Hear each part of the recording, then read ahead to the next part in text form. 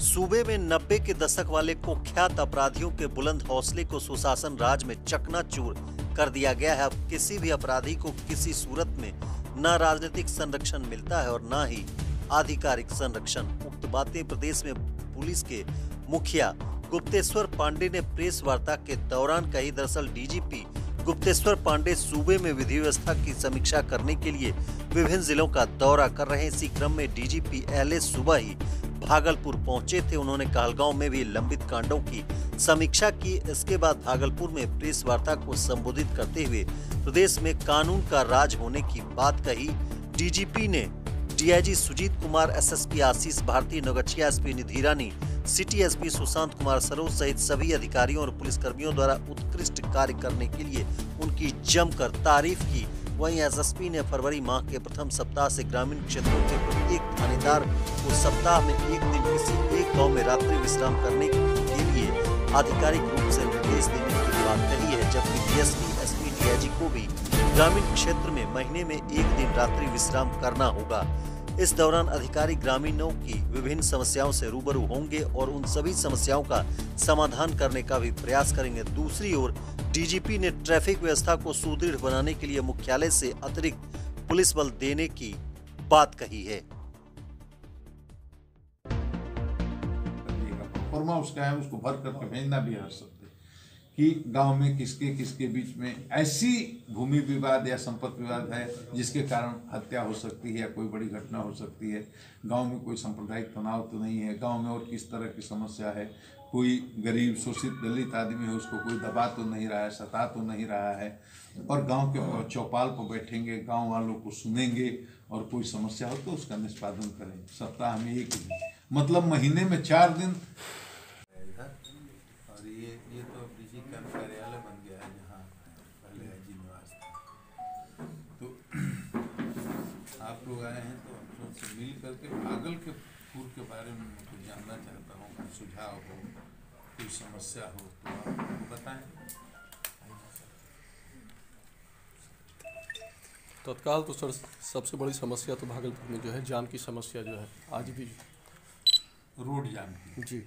बताइए एस साहब इसके बारे में क्या कर रहे हैं क्या है? सर मुख्यतः सर दो सीनियर एस पी बता रहे हैं। मुख्यतः सर रोड जाम सर।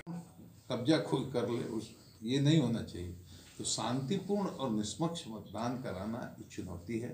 लेकिन आप सबको पता है बिहार की पुलिस तमाम परेशानियों और तमाम समस्याओं के बावजूद अपने सीमित संसाधनों के बावजूद हमेशा इस परीक्षा में खरी उतरी। उसमें सबसे बड़ी चुनौती है, अपराधियों के तो अभी स्थिति नहीं है। हम रैंडम अपराध होना, कहीं लूट हो जाना, वो सब अलग चीज़ें हैं, लेकिन अपराधियों का ऐसा कोई संगठित गिरोह नहीं है जो चुनाव की प्रक्रिया को प्रभावित कर दे, जो पहले हुआ करता था। आप अपनी आँख से देख लीजिए, मैं मैं भी, मेरे भी तैंतीस चौंतीस वर्ष हो गए। मैं देखा करता था रोड पर स्कॉर्पियो में बड़ी बड़ी गाड़ियों में पाँच पाँच छः छः वो राइफल, बंदूक और जायज़, नाजायज हथियार लेकर के खिड़कियों से निकाल करके लोग चलते थे कि नहीं चलते? तो जमाना आपने भी देखा होगा। कितने गैंग वार होते थे आपस में। बहुत तरह का पूरा शहर, गाँव, देहाता, इलाका सब प्रभावित हुआ करता था। धीरे धीरे स्थितियाँ बदली। अब तो आदमी अपना लाइसेंसी हथियार भी गाड़ी में लेकर अगर सुरक्षा के लिए चलता भी हो, ऐसा नहीं है कि खिड़की से वो नाल निकाल करके के फोर्टी सेवन, राइफल, बंदूक और प्रदर्शन करते हुए चले। लोग डरते हैं। डरते इसलिए हैं, देखिए, समाज है, अपराध भी होगा, अपराधी भी रहेंगे। सुशासन का है। बिहार में सुशासन है। माने कानून का शासन। कानून का शासन या सुशासन का मतलब ये नहीं, अनुसंधान में आ गया, साक्ष्य आ गया तो सब लोग चुप हो गए। अगर ये केस, हर केस खुल नहीं सकता। कई कारण हैं, कई स्थितियाँ होती हैं कि हर केस का उद्भेदन हो जाए सौ में सौ ये संभव नहीं है। कुछ ऐसे केस होते हैं जो अनसॉल्व रह जाते हैं। कई कारणों से उनका उद्भेदन न हो पाता। अगर बक्सर के इस केस का उद्भेदन नहीं हुआ होता, कितनी बड़ी समस्या थी। विधि व्यवस्था के लिए बहुत बड़ा चुनौती था। बक्सर में आंदोलन हुए, प्रदर्शन हुए, कोई पुलिस के खिलाफ नारा लगा रहा है कोई सरकार के खिलाफ नारा लगा रहा है, और कोई गाली लिख रहा है, कोई कुछ कर रहा है। केस खुला तो पता चला कि लड़की को मोटरसाइकिल पर ले आकर के उसे बाप भाई ले गए, गोली मारी, जला दी। कन्फेशन हुआ। एविडेंस भी आ गया। वैज्ञानिक अनुसंधान भी हो गया। उन्होंने स्वीकार भी कर लिया। गिरफ़्तार भी हो गए, जेल भी चले गए। तो कोई चीज़, कोई भी समाचार जब बनाते हैं आप थोड़ा धीरज के साथ, थोड़ा पेशेंस के साथ, थोड़ी ज़िम्मेदारी के साथ, ये बिहार आपका भी है। इस समाज आपका भी है। इसमें विधि व्यवस्था, संधारण और कानून को बनाए रखने की ज़िम्मेदारी हमारे पत्रकार भाइयों की भी है और यहाँ की आवाम की भी है। केवल पुलिस को गाली देने से नहीं होगा। आप जात के नाम पर समर्थन करते हैं अपराधी का। आप मज़हब के नाम अपराधी को हीरो बनाते हैं, उनको फूल माला पहनाते हैं, उनका जिंदाबाद करते हैं। जो प्रोफेशनल किलर हैं किडनैपर हैं रॉबर हैं, डकैत हैं, ऐसे अपराधियों को अगर सम्मान दीजिएगा, उनको हाईलाइट कीजिएगा उनके अपराध को और हीरो बना करके अगर छापिएगा जनता को दिखाइएगा दर्शक फैलाइएगा तो इसका बड़ा नकारात्मक प्रभाव पड़ता है समाज पर। हो जाएगा अगले महीने से फरवरी से पंद्रह दिन के बाद दो वीक के बाद। एक अंतिम सवाल सर जाते जाते ये बता दी इतना ऊर्जा जो है ये ऊर्जा कहाँ से मिलता है सर लोगों के प्यार से आप लोगों के प्यार से।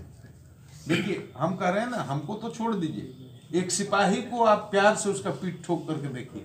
आप केवल थानदार को गाली देते हैं, उसका निगेटिव चीज़ खोजते रहते हैं। एक बात कर रहे हैं आप उसको पीठ ठोक करके देखिए, उसको जरा प्यार से पुचकार करके देखिए अच्छा काम करे, उसको अप्रिशिएट करके देखिए, उसी से ऊर्जा मिलती है।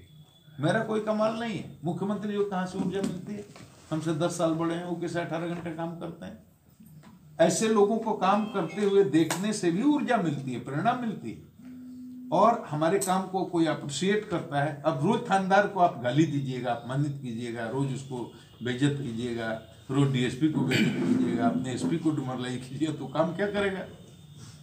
तो ऊर्जा मिल, देखिए पॉजिटिव स्ट्रोक भी देना बहुत ज़रूरी है। केवल नेगेटिव स्ट्रोक दीजिएगा तो उससे आदमी परफॉर्म नहीं कर पाएगा डिमोटिवेटेड हो जाता है।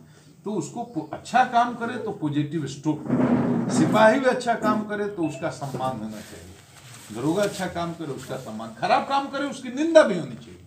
लेकिन अच्छा काम करे, उसको भी उतनी प्रमुखता से लिया जाना चाहिए, उसका समाचार छपना चाहिए, उसको शाबाशी मिलनी चाहिए। उससे ऊर्जा मिलती है, उत्साह मिलता है। और हम अच्छा काम कर रहे रोज हमको कोई गाली दे रहा तो हम लूज कर जाएँगे। अपना वो जो होता है मोटिवेशन ही खत्म हो जाएगा कि अच्छा भी काम करने पर गाली ही मिलती है। अब कोई